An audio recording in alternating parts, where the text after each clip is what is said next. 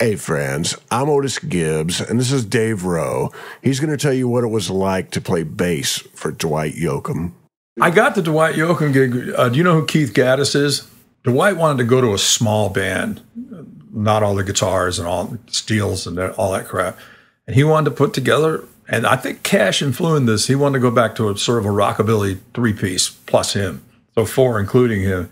And Keith Gattis was a guy that I had done a lot of work for here. He moved to Los Angeles.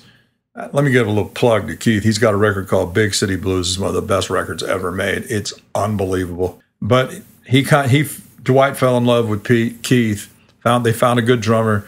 I said we got to get it. I want I want an upright bass, man. He said I want slap bass on everything, you know.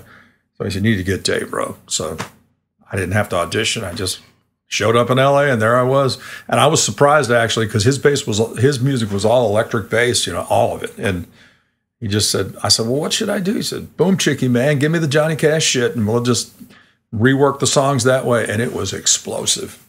Was this right around Sling Blade? 2000 to 2005. Sling Blade had already happened. And, and a lot of actors, you know, like backstage, most bands have musicians come and he had a combination of actors and we got, got to see I got to meet Vince Vaughn and Jeff Bridges, and uh, of course uh, Billy Billy Bob Thornton was around a lot. All those guys were around. The big thrill for me was we played San Antonio, and Tommy Lee Jones came, and I'm a big Tommy Lee Jones fan, and he came right up in my face and said, "You're a good hand, brother. You're a good hand," and I just wanted to die. It was great. He was an impressive human being, man. Yeah.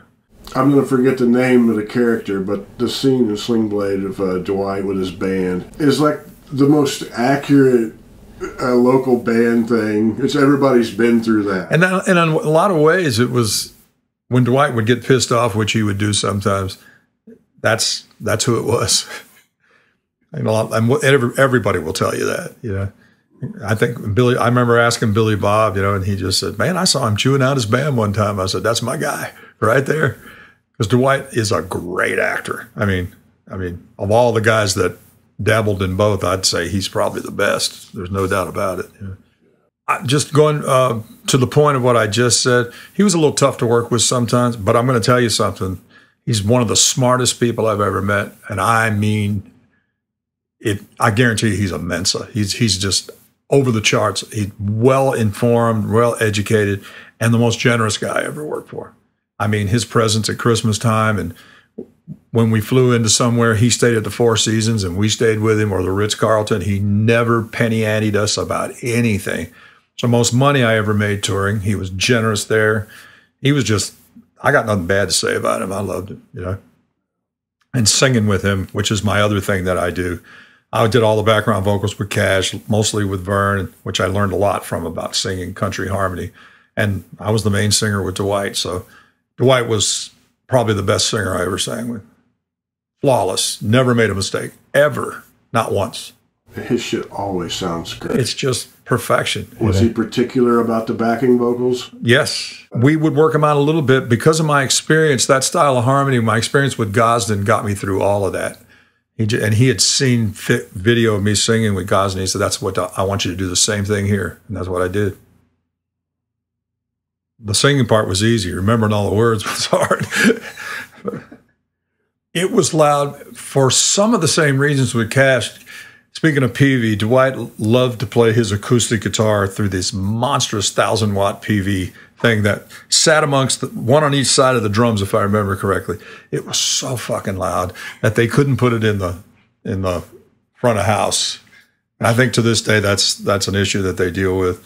But then Gattis played through two big Fender amps, and I I, I played through it amp amp again, and it was loud. It was punchy, you know, but very clean. And the way he, you know, how his music's so arranged, and it was just really neat. It was not as uh, chaotic as the Cash stuff because the Cash stuff was there were never any count offs.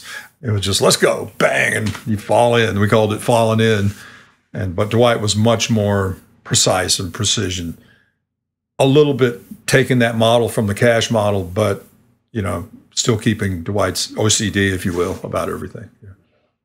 And I love Dwight. I think he's one of the most talented people ever. I still think he was the last great country artist. You know, it was hilarious. I mean, it was just a bunch of hillbillies riding around in a jet plane. It was great. And Dwight loved it. He took pride in knowing everything about the jets he was on. He he was a, sort of an amateur jet fan. He could tell you everything about a Learjet, and it was interesting talking to him about it. Did Buck Owens ever uh, come around? No, but we came to him. We played at the, the Palace in Bakersfield a couple times, and Buck was there both times. It was uh, pretty cool to meet him. He's another one of my big heroes. But he did not play both those nights that we were there. He had already pretty much hung up his guitar by that point. He was not well, I don't think, where he was at the beginning stages of his of his decline, I think. But he was great getting to talk to him and hang out. He was cool, man. He was really funny. Oh, it was Keith Gattis on guitar, and then he left because he got a record deal with RCA, and Eddie Perez from the Mavericks came in, and he was the second guitar player I worked with. But it was they were both so great, it didn't matter. I mean, you know, so I was there like five years, and when I left, Eddie was the guitar player. Click this video if you'd like to hear Dave telling a great story about playing with Johnny Cash, and I'll see you somewhere down the road. Much love to you.